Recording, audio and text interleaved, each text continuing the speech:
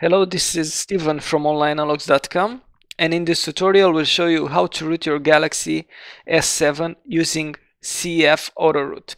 This root method does not work on the USA versions that have a locked bootloader.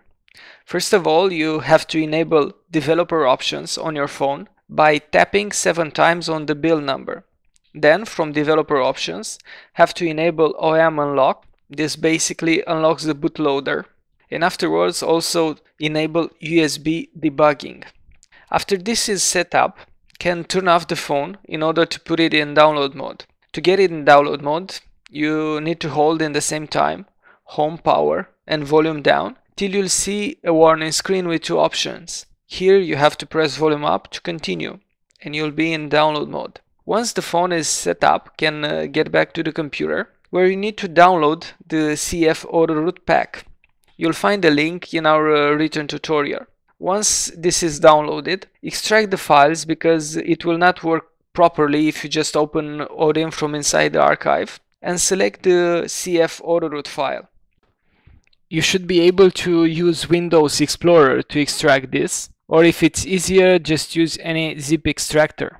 I recommend when opening Odin to run it as administrator to avoid any problems. The Odin that comes in the CF Autoroot pack is a modified version that does not allow you to change any settings. Basically, you don't need anything changed, so why leave place for any mistake? Select the CF Autoroot file for the AP field and press start. That's it basically. Uh, on your phone you should uh, see the flashing progress and after uh, that it should reboot by itself be patient because uh, should reboot like two times and might take a bit more than five minutes. So if it's taking longer than a normal boot no need to worry. It's perfectly normal. Please wait till it turns on by itself.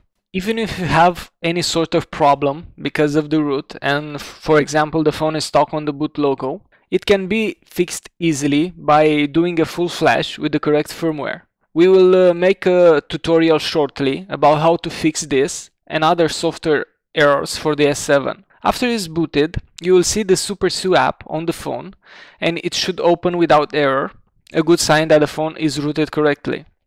If you have any questions or problems, please leave a comment below. And if you want to unlock your Galaxy S7, please contact us on our website, onlineunlocks.com, and it will be our pleasure to help you.